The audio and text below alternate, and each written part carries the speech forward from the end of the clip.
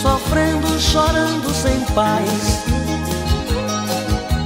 Tô quase ficando louco por te amar demais.